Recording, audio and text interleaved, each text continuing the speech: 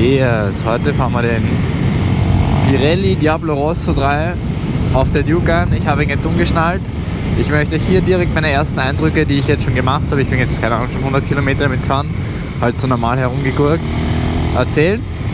Und dann machen wir ein bisschen ein Reifentestvideo sozusagen. Also ich werde ihn einfahren und das reicht eigentlich meistens schon, um den Reifen ganz gut einschätzen zu können. Äh, es ist so, er hat sehr ähnliche, erinnert mich an den Power RS, den ich mal gefahren bin. Mit dem Reifen bin ich am öftesten auf der Fresse gegen. Ich weiß nicht, ob es am Reifen gegen ist oder nur an meiner Fahrweise. Aber ich glaube, ich habe ihn nicht gern gehabt, den Power RS von Michelin. Muss ich sagen, es ist, den gibt es aber auch gar nicht mehr für die Dimensionen. Jedenfalls ist es so, dass er erstes Einlenkverhalten sehr, sehr ähm, ruhig ist quasi, also sehr stabil gerade läuft. Und dann, nachdem er, danke, nachdem er ein Stück liegt, hat er die Tendenz, dass er liegen bleiben mag. Das heißt, der Reifen hat, ist oben ziemlich rund und plötzlich geht er ziemlich steile Flanke und die Flanke ist dann aber auch ziemlich gerade. Heißt, viel hat dann, wenn man ganz schräg liegt, sehr viel Auflagefläche. Auf Instagram habe ich einiges zu dem Reifen gepostet, wie ich ihn halt bekommen habe und aufgezogen, weil ich fand es sehr beeindruckend, wie der nicht aufgezogen ist, ist das Ding ein LKW-Reifen. Ist einfach so flach und sieht extrem breit aus. Aber wenn man ihn aufbläst, äh, wenn man mehr Druck gibt vor allem, dann wird er, macht er mehr Beule und zwar krass mehr. Ich habe das noch nie, ah, gut zu wissen, ich habe das noch nie beobachtet bei Reifen, aber bei dem habe ich jetzt beobachtet, wenn man ihn aufbläst, wird er viel runder. Das heißt, ich habe ihm jetzt vorne mehr Druck gegeben als hinten, nämlich hinten glaube ich 1,9 Bar, vorne 2,5, was ich normalerweise nicht mache. Normalerweise gebe ich vorne weniger, hinten mehr. Nämlich nur dazu, dass er vorne runder ist und quasi hinten früher auf Kante geht und vorne nicht, weil ich habe bei der Duke bei diesen Dimensionen immer ein bisschen die Troubles, dass er vorne, hinten und vorne gleichzeitig auf Kante geht. Ich hoffe, dass ich das damit behoben habe. Es ist jedenfalls so, eben bis zu dieser Schräglage, wo ich gerade fahre, ist es so ganz neutral und dann hat er ein bisschen so die Tendenz, dass er sogar in die Kurve rein will und dann ein bisschen liegen bleiben. Das ist aber jetzt halt vor allem ähm, für die Duke relevant, weil jeder Reifen ist auf anderen Dimensionen ein bisschen anders vom Feeling und vor allem anderes Fahrwerk. Aber für die Duke jetzt halt mal. Äh, das heißt, das fühlt sich sehr, sehr schön an. Ich finde, er ist optisch sehr schön, das schauen wir uns aber nachher an. Und bei dem Reifen war auch noch eine Sache, bevor ich jetzt zum Fahren wirklich gehe konkret, eine Sache sehr markant. Nämlich war die äh, Einfahrphase, sozusagen, die haben ja immer so eine Trennschicht, Silikonum, vom, äh, wie sagt man, Reifenspritzen sozusagen. Und die, wow, die war hartnäckig, also die ist nicht so schnell runter, aber dafür hat er sich auch dann ganz gut einfallen lassen. Ich bin jetzt auch noch nicht auf Kante gefahren oder irgendwas, aber schon ganz ordentlich schräg mit, weiß nicht, so 30 Grad, was sich im Winter oder jetzt Anfang Frühling, jetzt ist Frühling heute offiziell, ziemlich schräg anfühlt. Natürlich fährt sich der auch am Hinterrad schön, das machen wir jetzt aber nicht, weil es einfach, ja, wir es eh wissen, ähm, genau, und der ist ziemlich stabil so. Und wir schauen uns den Reifen jetzt ein bisschen an. Wie gesagt, das sind jetzt so die ersten Kurven, die ich mit dem ein bisschen mehr schräger pressen kann. Und ich habe vorher auch eine Kurve gehabt, das habe ich ja nicht gefilmt, wo er so ein bisschen zappelig war, weil natürlich ist es dann so, wenn du auf die unbefahrene Fläche fährst, rutscht er ein bisschen und dann grippt er wieder, weil er zu, quasi zur befahrenen Fläche zurückrutscht. Ja? Und das ist ein sehr angenehmes Einfahrverhalten gewesen. Sonst, ja, legt sich schön, er fährt sich sehr.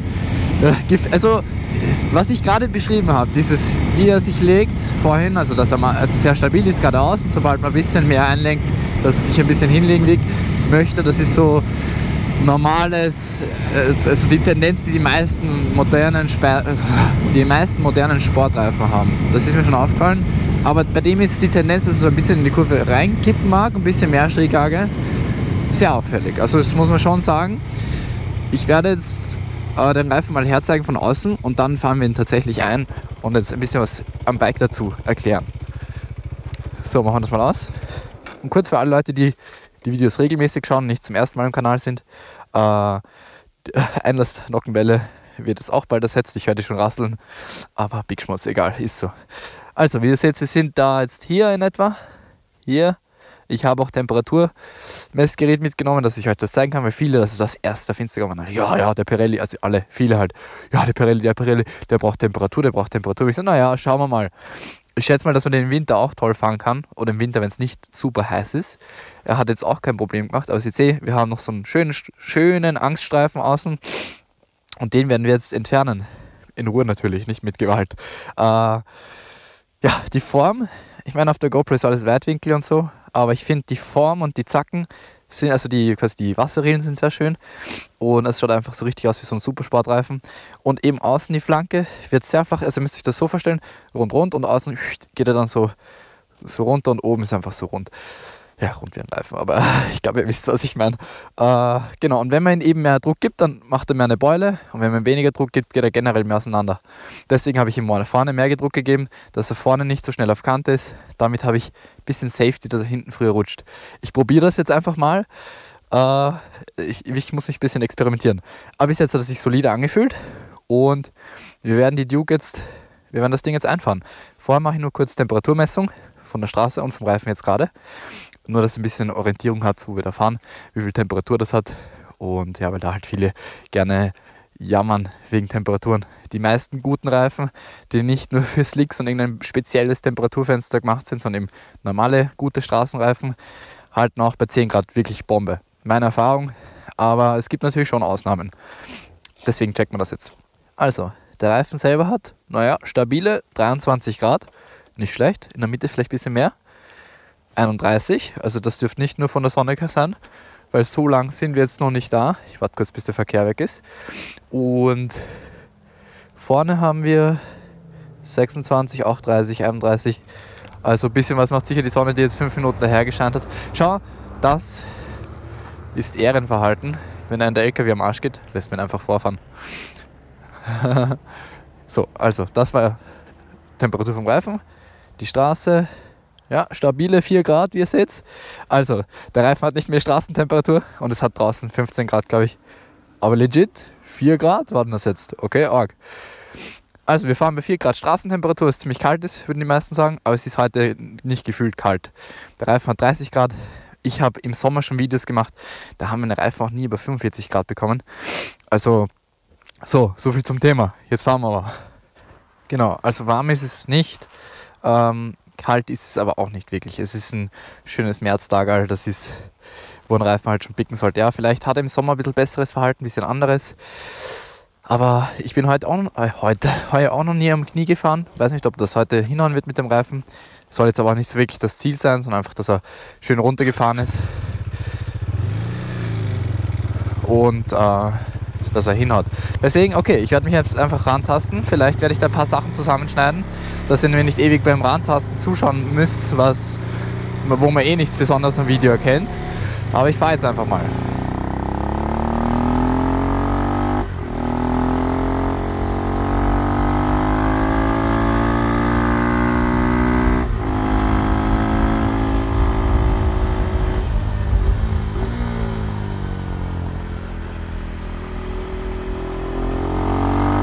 Bin halt jetzt natürlich, provoziere ich das bisschen, indem ich beim Ausgang das Ding ein bisschen mehr einlenke und gleichzeitig immer super alert bin, also super, wie sagt man da, wachsam, ob da jetzt was passiert, ob das rutscht und immer ready fürs Einlenken, dass ich das Ding wieder aufrichte, quasi so in der Rechtskurve, in der Linkskurve. Ah, das ist eigentlich ein ganz gutes Rutscher-Tutorial jetzt. Also Vorderradrutscher, ja. Also Hinterradrutschen, das kann eh jeder ausgleichen wenn, wenn man quasi links liegt, du musst immer bereit sein, dass du den Lenker dies machst, dass du diesen Impuls gibst zum Aufstellen.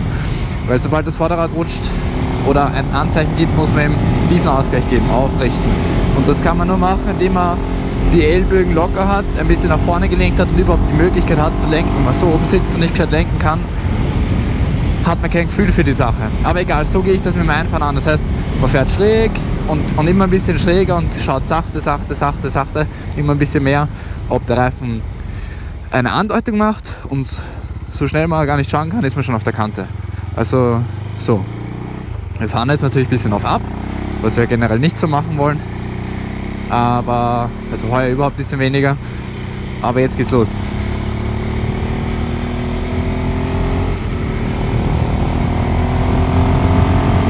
Dasselbe auch nicht zu schnell anfahren, die Kurve lieber raus beschleunigen und dann ein bisschen schräger werden.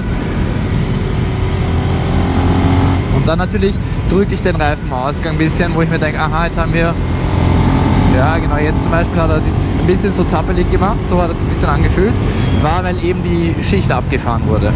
Das fühlt man richtig. Also es fühlt sich gut an bei dem Gummi. Und dann gehe ich natürlich mit dem Oberkörper ein bisschen rauf und drücke das Motorrad ein bisschen mehr rein. Nur damit er eben auf Kante abgefahren wird schön, ohne dass ich jetzt schon extrem Kurvenspeed habe. Und ich mache jetzt auch gar kein Eis auf oder irgendwas, irgendein Hänger fahren oder so. Das hat sich jetzt schon alles ziemlich schräg angefühlt, aber vorne zumindest ist er noch nicht auf Kante. Das sieht man schon während der Fahrt. Also ich sehe es auf der GoPro, glaube ich, sieht man es nicht. Aber er fühlt sich nicht schlecht an. ABS regelt auch nirgendwo beim Bremsen. Das ist auch immer ein ganz gutes Indiz, ob der Reifen grippt. Weil wenn das ABS mal regelt, dann da muss schon was passiert sein. Also da ist man dann schon echt schräg. Aber so, er, er vermittelt, finde ich, Sicherheit. Ich habe natürlich jetzt keine Grenzbereichsachen gemacht, wo er dann wirklich rutschen anfängt, ohne diese Schicht abzufahren. Also wo die Schicht schon abgefahren wäre. Das Einzige, was sicher. Aber es fühlt sich toll an beim Einfahren. Und ich mag das Einlenkverhalten. Also das ist halt, das ist, was die Reifen vor allem unterscheidet. Einerseits der Grip, der aber nicht so krass, weil ich immer sage, die ganzen teuren Reifen sind wirklich gut. Aber was ihn mehr unterscheidet, ist eher, wie fühlt es sich an beim Einlenken. Wie ist das, wenn man eben abbiegt, wenn man langsam abbiegt, auf welchem Fahrwerk. Es ist auch immer ein bisschen anders. Jetzt haben wir einen kleinen Wheelie. Kleinen Wheelie habe ich gerade Bock drauf.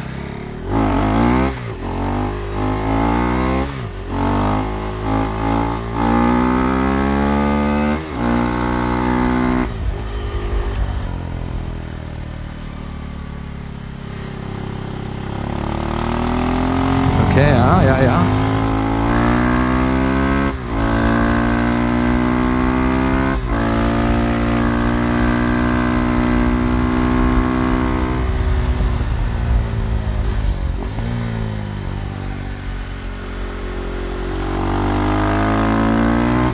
Da hat er jetzt auch wieder ein bisschen so, nicht direkt geschmiert, aber man hat gespürt, dass ein bisschen was macht.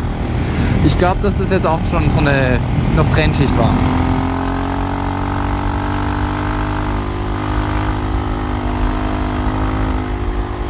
Ja, aber äh, es ist sympathisch. Äh, ich, wie gesagt, ihr werdet es eh sehen, wie ich den Reifen die Saison fahre. Dann könnt ihr euch wirklich ein gutes Bild machen. Aber der erste Eindruck ist, macht, macht ein gutes Gesicht. Man muss natürlich sagen, dass die Duke im Vergleich zu anderen Motorrädern keinen Drehmoment hat, wo man den Reifen beim Rausbeschleunigen beurteilen könnte. Also andere Motorräder kann man ja direkt sagen, right off the bat, ja, ähm, der ist toll, weil der, meine Super Duke hat 700 Newtonmeter am Hinterrad und sobald ich ähm, aufs Gas gehe, biegt der super oder, oder es meldet sich gut an. Das kann ich natürlich nicht machen. Ich kann nur vom Verhalten und so reden. Hallo. Und das, das ist nett.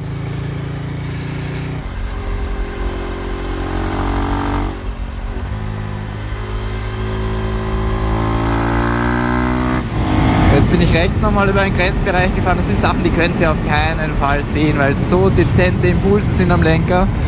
Die kann man im Video, glaube ich, nur, also im Video sieht man die krassen Sachen sogar, ist leider, leider nur sehr leicht. Aber es war ähm, definitiv jetzt auch wieder ein bisschen Trennschicht noch dabei. Also ich glaube, jetzt sind wir dann langsam auf Kante.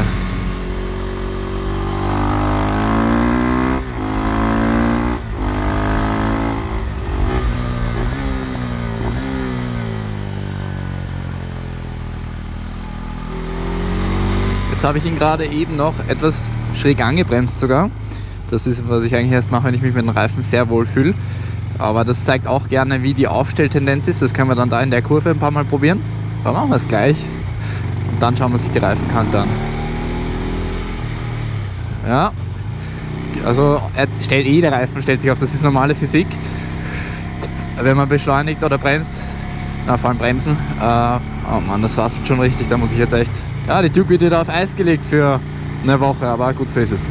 Hoffentlich ist es wenigstens die Einlassnockenwelle und nicht die Auslass, weil die habe ich ja gerade erst gemacht. Äh, falls ihr das nicht versteht, was ich gerade sage, schaut sich das Video an, was ich euch hier verlinke. Äh, dann wisst ihr Bescheid. Oder ich verlinke euch gleich beide Videos. Äh, ja, genau.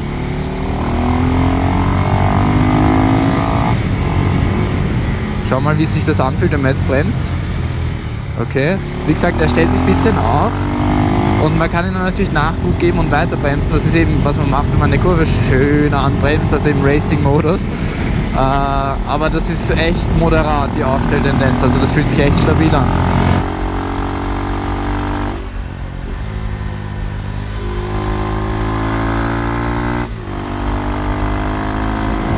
So, ich werde jetzt in der nächsten Rechtskurve mal probieren, aufs Knie zu fahren. Ich glaube, ich werde es noch nicht ganz gut hinbekommen, weil erstens sind meine Kniebacke extrem dünn, schon also abgefahren. Und zweitens war ich heuer noch nicht am Knie und naja, was die sachte, sachte. Machen wir mal auf hässlich. Es fühlt sich so schräg an und ich bin schon so oben gesessen, aber ich war nicht am Knie gerade. Das ist interessant.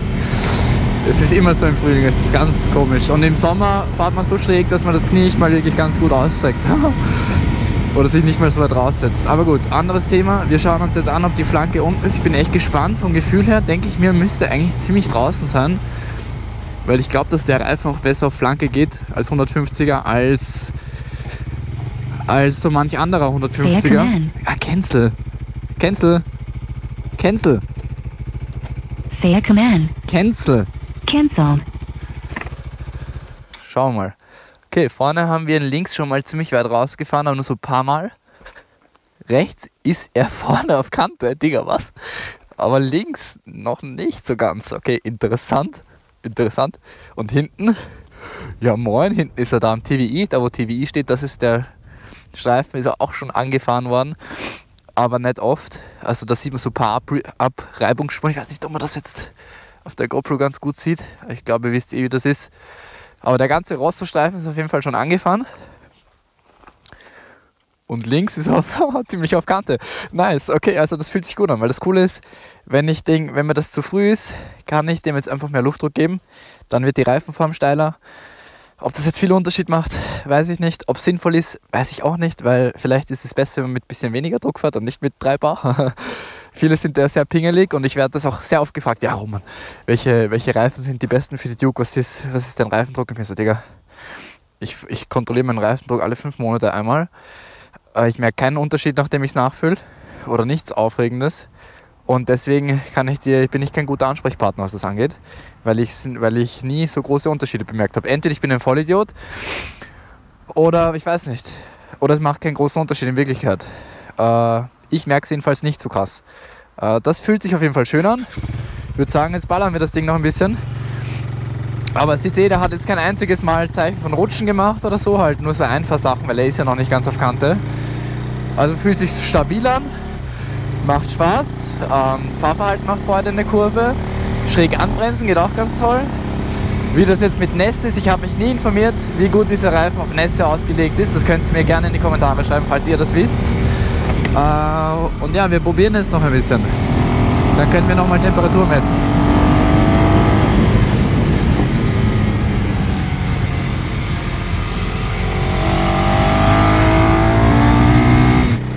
Und falls ihr euch wundert, ja, die meisten kennen die Strecke eh gut. Die meisten Zuschauer, eigentlich alle. Aber ich fahre jetzt nur hier ein bisschen, weil ich es eben gut kenne, weil es einfach Asphalt gibt. Ziel ist es jetzt aber nicht, hier so viele Videos machen zu heuer, genauso wie drüben. Haben wir eben im letzten Video schon wieder Stress bekommen für gar nichts. Und wir wollen ein bisschen andere Strecken erkunden heuer.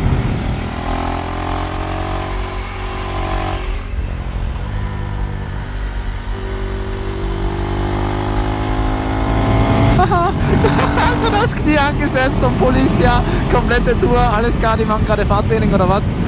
Okay, oder was ist hier denn los? Aber jetzt fühle ich mich mit dem Reifen schon ziemlich wohl.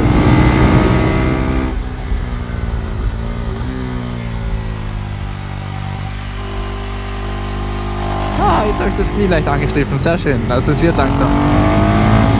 Aber es war jetzt auch wieder auf Krampf, gell? Das war jetzt nicht schönes Kniefahren, sondern halt so, also Krampf, halt ein bisschen verwurschtelt am Bike. Das ist auch immer eine gute Kurve, weil hier muss man schräg anbremsen und einen Wechsel machen nach rechts, wenn man halt schnell fährt. Auch harte Geschichte, sag ich mal, im Sinne von, da merkt man, ob, äh, wie gut ein Reifen, wie er eben in Schräglage sich verhält. Ja? Das ist alles, was mich vor allem interessiert. Vor allem. Und ich werde da kurz umdrehen, weil es öffentliche Straßen umdrehen ist immer so eine Sache, aber hier sieht man es sehr weit und bei mir ist das ein Handgriff hier. Äh, und wir wollen da eben im Wald bleiben. Einmal das, andererseits. Uff.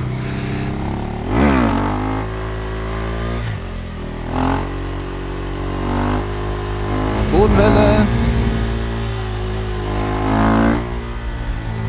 Andererseits stark bremsen in Schräglage ist immer so eine Sache. weil da. Wow, jetzt war es ein bisschen kippelig. Aber ich glaube, es ist auch, weil wir die Kante einfach noch nicht so ausgefahren haben. Jetzt hat er gerade kurz Kribbeln bekommen, das war gerade kritisch. Äh, ja, weil wenn du schräg bremst, dann fängst du an, das volle Potenzial auszuschöpfen. Und das ist auch ziemlich gefährlich. Also da muss man echt vorsichtig sein. Aber es sagt halt viel über den Reifen.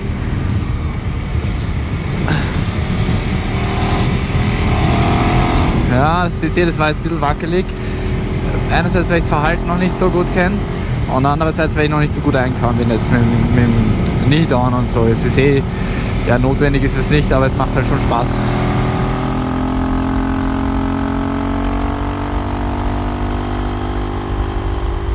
Was ihr halt auch wissen müsst, ist, ich fahre die Reifen auf den 150er bis jetzt bin ich sie nie wirklich auf Kante gefahren. Es ging manchmal im Sommer so irgendwie, wenn wir wirklich auf der Fußrast unterwegs waren, weil die halt eben sehr steil sind meistens. Aber dieser 150er ist eben etwas flacher, das definitiv. Ist zwar vor dem Aufziehen extrem krass, das hat nichts mit dem Aufziehen zu tun, aber der hat dann tatsächlich, wenn er aufgezogen ist, doch auch eine flachere Flanke und das merkt man ich definitiv auch ähm, dass er, weil meine Reifen gehen immer nur auf Kante, wenn ich schon auf der Fußraste bin. Und ich mir so, nee, das ist halt schon, also für die Duke, für meine Duke ist das sehr schräg. Sage ich, wie es ist. Ich glaube, das sind so 50 Grad oder so.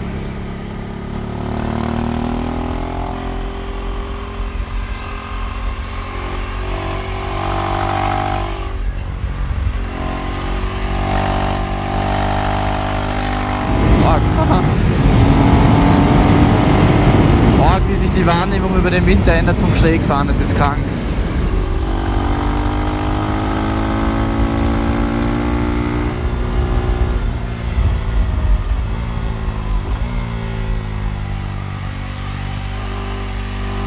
Ja, jetzt war ich auch wieder unten im Knie.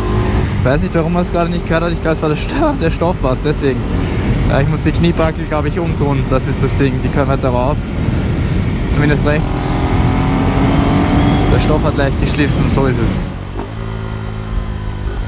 So, jetzt werden wir dann aber Reifentemperatur messen auf jeden Fall. Okay, machen wir das mal.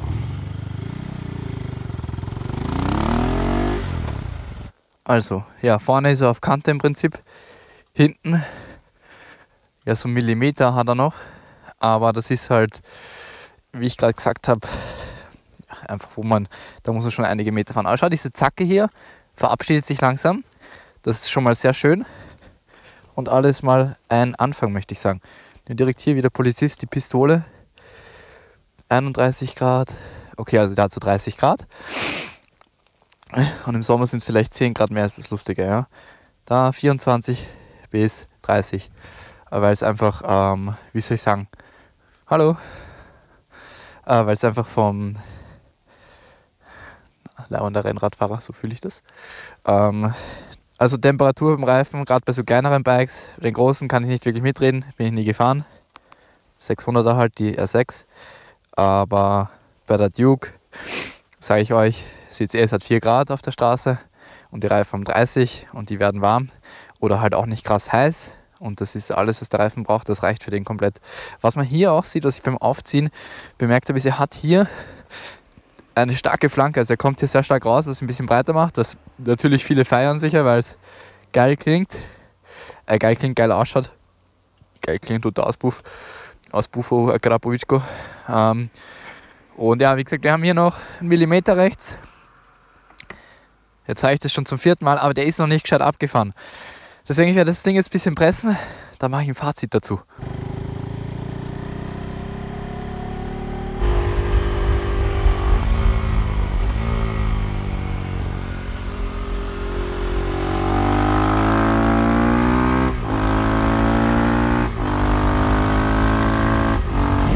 Kupplung ohne Duke ohne Kupplung schalten, feiere ich.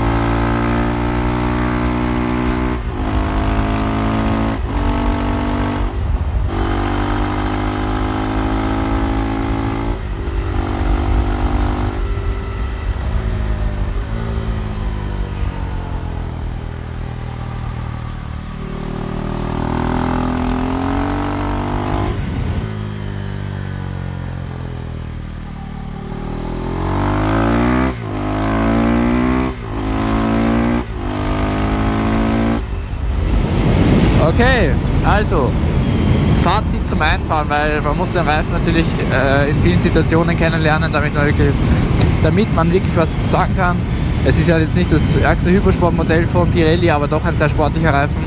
Ich bin den schon auf der R6 mal gefahren, ziemlich krass. Da hat das Org Bock gemacht. Das Video verlinke ich euch auch da oben. Äh, man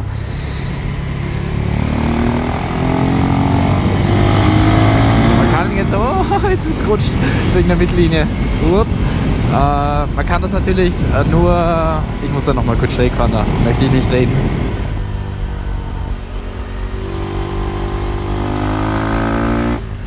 Okay, man kann natürlich nur, man muss die Situation alle kennenlernen, ein bisschen durchprobieren. Also vielleicht mache ich ein zweites Video zum Reifen. Keine Ahnung, schauen mal. Ähm, schauen mal, ob die Duke noch länger hält. Ich hoffe. Äh, und ja, das ist der Pirelli. Macht Freude, lenkt sich schön ein, stellt sich nicht zu so krass auf beim Schrägbremsen, also sehr brav, schaut gut aus, geht relativ schnell auf Kante, das ist auch schön, das kann man sich ein bisschen anpassen mit Reifendruck. Und er fühlt sich gut an, er war relativ schnell eingefahren jetzt. Er, er wehrt sich aber beim Einfahren, also die erste, die erste Trennschicht war hartnäckig bis zu Deppert, aber egal, die ist dann runter. Und ja, das ist der Pirelli Super Diablo Rosso 3 Supercrosser. Diablo Rosso 3. Falls euch das Video gefallen hat, lasst mir sehr gerne ein Like da, freue ich mich. Abonniert es auch gern, falls ihr mehr solche Videos sehen wollt. Ich mache immer wieder Testfahrtvideos zu verschiedenen Bikes, wo ich einfach meinen Senf dazu gebe. Und ja, äh, ich hoffe, wir sehen uns die Saison. Ich hoffe, die Duke wird jetzt stabil, weil ich muss mir das nochmal anschauen, was da Rambazamba macht im Motor. Das ist gar nicht gut. Und ja, dann sehen wir uns demnächst bei einem weiteren Video. Bis bald, macht es gut. Ah, ja. Ich bin schon wieder im Videomodus, das ist schon wieder krass.